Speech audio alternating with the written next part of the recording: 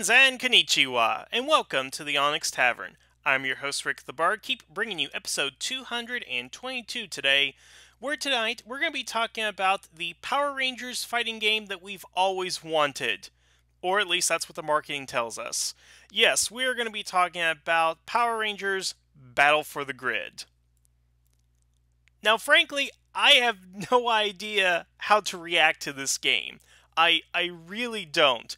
And there are a number of red flags here that make me very cautious uh, about this product. But man, do I do I wish it's good.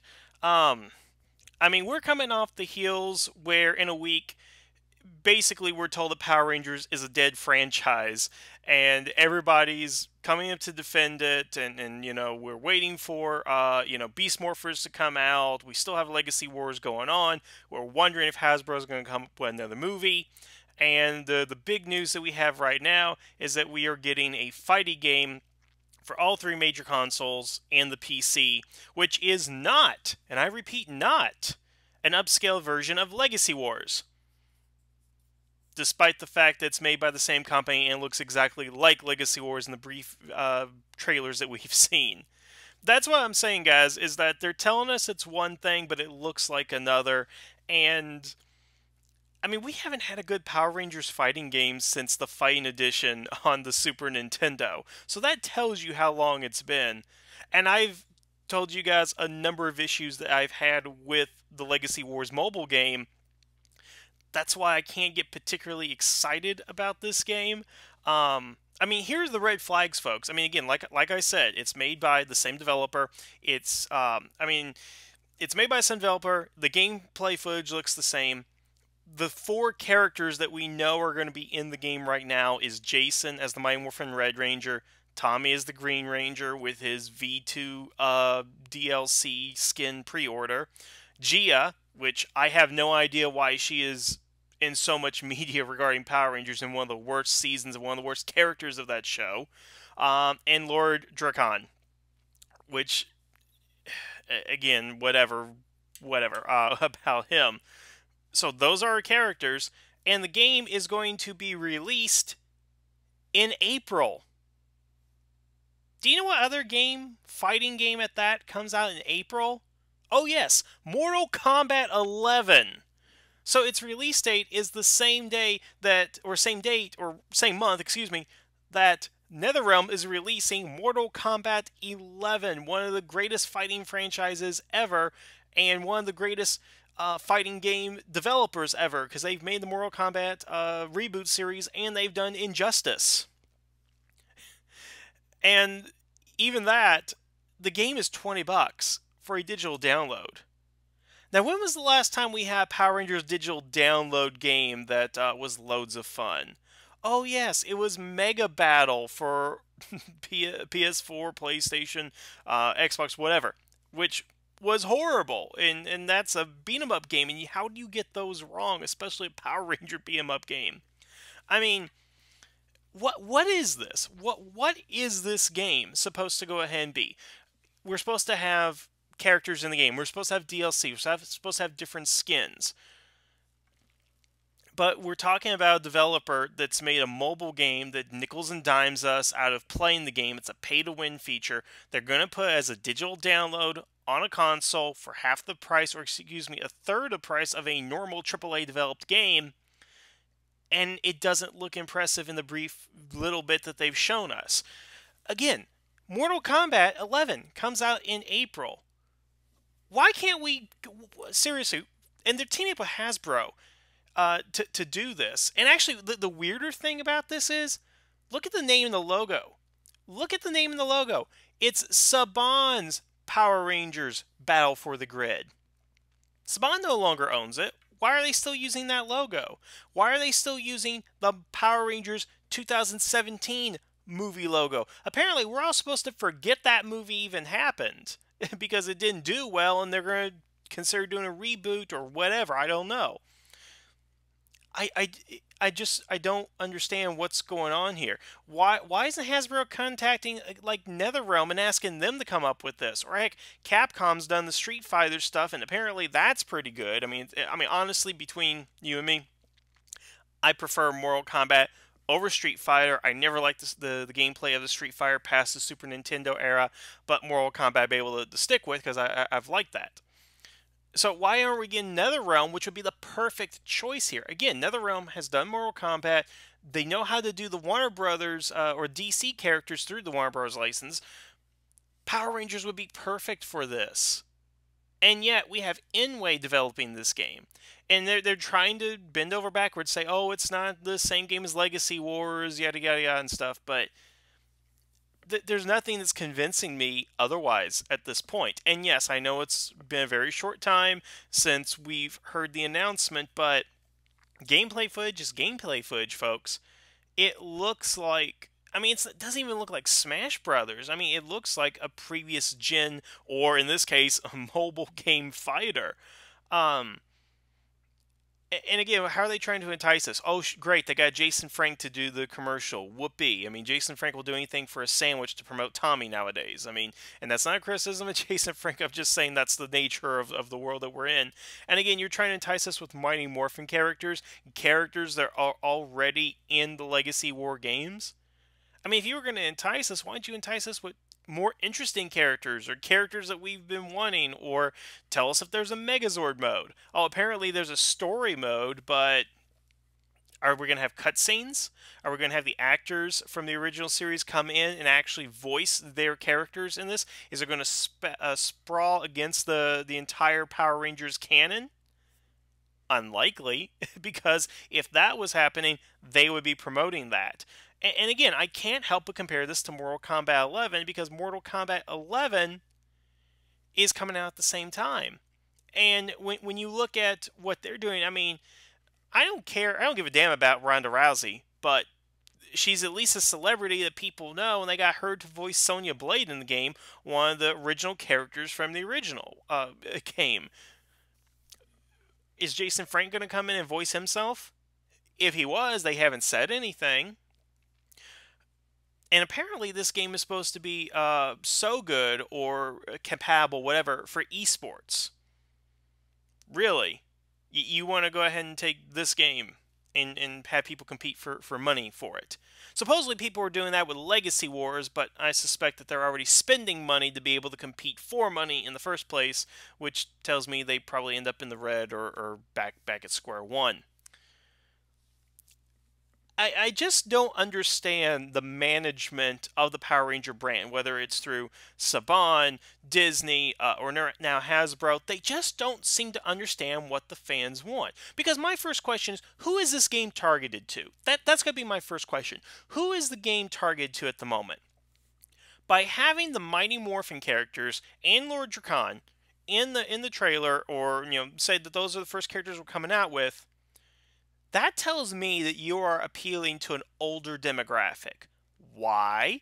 Because the younger fans are going to be more familiar with Dino Charge and Ninja Steel. And if you actually take a look uh, at the, the game, I mean, yeah, you got like two characters from Dino Charge and a Snide, uh, of course, in Legacy Wars, and you have one Ninja Steel character. Oh, plus uh, Snide, whatever that's at least appealing to the, the younger characters. You had or the younger fans. You had the 2017 because it was a cross promotion for that. And of course by by default you have to have the mighty morphin rangers.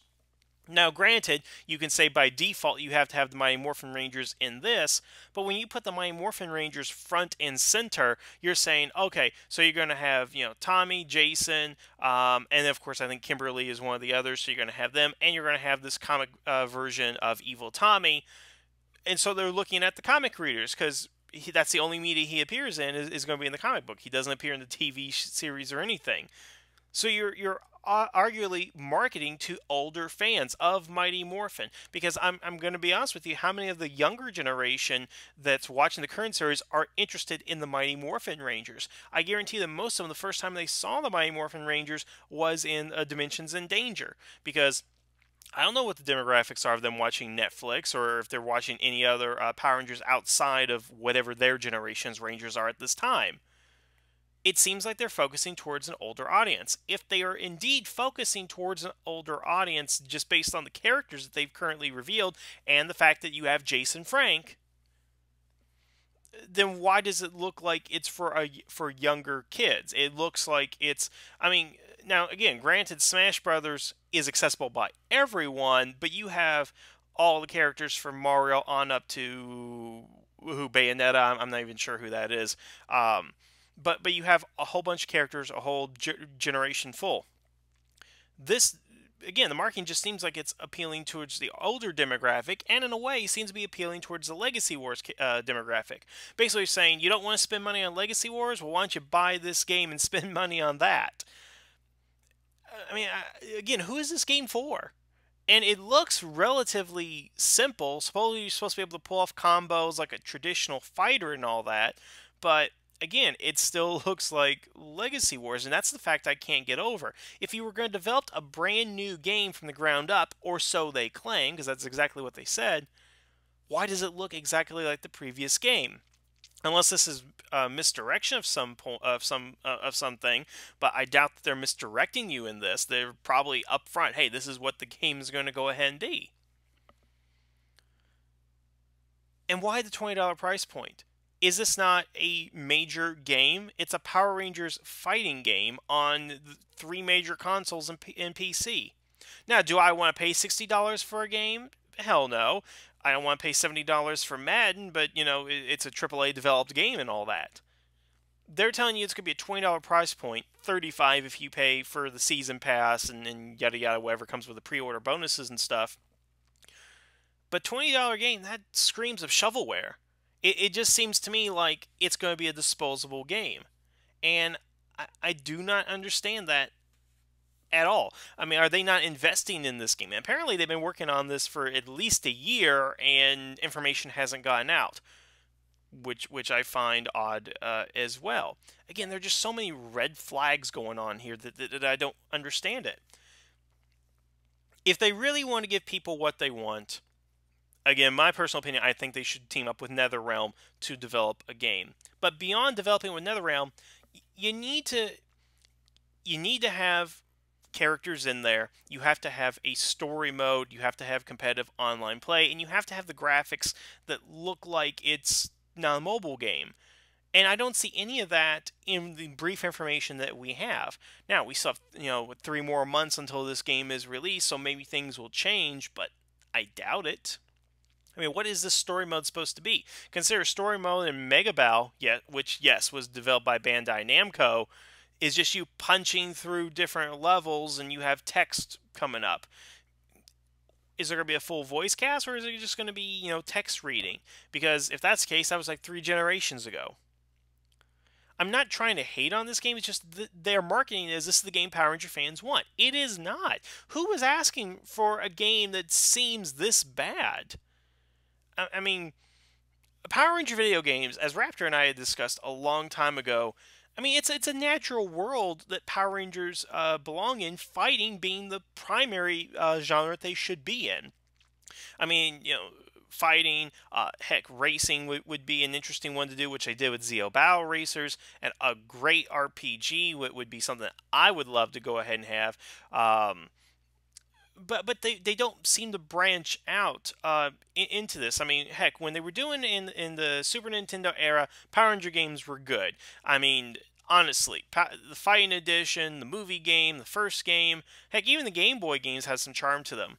Then they moved to THQ, and I don't think I ever played those games. And they were on the Game Boy Advance. And they were just simple side scrollers or platformers that nobody gave a damn about. And of course, then uh, Bandai Namco gets a hold of it. And again, we have that debacle. Super Legends on the PS2 that wasn't really fun. I mean, any game, any Power Ranger game where you don't get to fully control a Megazord is not really a good game. And the only one we have is Legacy Wars for mobile, which tries again to nickel and dime you into spending money on something that you should not be spending money on. I think the only decent game that I can think of that was even on next generation consoles probably the Dino Thunder game, but even that had a number of issues with it. At least you got to control the Zords in that. Um, we've just been denied a good Power Ranger game. And we look at all these other franchises that are getting good games. Um, you know, like again, who would have thought we would have had an Injustice? I mean, look at all the bad superhero video games, particularly the Batman and Superman games and Aquaman and all that. I mean, we had Arkham, which was which was great, and then Injustice comes out of nowhere. Before that, all you have was Justice League Task Force, which is not the best fighting game out there, but heck, for the Super Nintendo, it was still fun. And they always deny us like Megazords. That's another thing too. You guys get that, right? Even in Legacy Wars, we have like six Megazords, and three or four of which are really unaccessible to people unless you pay money or grind your way through it. Because I'm never going to be able to own the Dragon Zord. I'll tell you that right now, and I ain't paying for that damn thing. It it just seems that they want to create their own thing, but don't really want the input of the fans. Because again, what fan wants this game? What fan wants Legacy Wars in its current form? Who wanted any of these games out there? I, I just I do not understand that to to, to any degree. Um, aren't don't that I think that's the biggest disconnect that that I'm seeing with Power Rangers. Because they're saying again, Power they're saying Power Rangers is a dead franchise, but it's because I would say if that statement were true, it's because they don't listen to their fans. They give the fans what they think they want, but they don't actually engage them with what they want. And again, one of the, the things is is like the comic series, as I said in one of my previous videos, it seems like they're that seems like they're giving the fans what they want. Mature, thoughtful, provoking Power Ranger stories the 2017 movie that seemed to give Power Ranger fans what they want, except for the whole rebooted uh, aspect of it.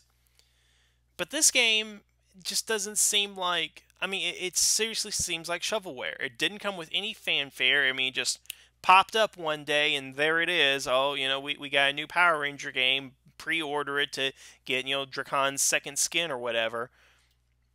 I mean, I, I just I, I do not get it. And that's and this video is a little bit shorter than, than other videos because again there is so little information, but I just really kind of want to vent my frustrations on it because that's ultimately what I'm seeing here is I am seeing this franchise continue to go in directions uh, and do things that just don't make sense. That honestly, the other fandoms are laughing at us because we can't get the people who own the franchise to do anything significant uh, or anything with it that we've asked for.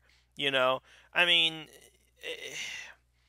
even even on the television show, look at Ninja Steel. Did we ask for any of that stuff that's going on? Did we ask for for the clumsy writing, the bad acting, and the dialogue? And eh, we didn't ask for any of that stuff. We, we all we ask for as fans is something to be good and for it to progressively get better.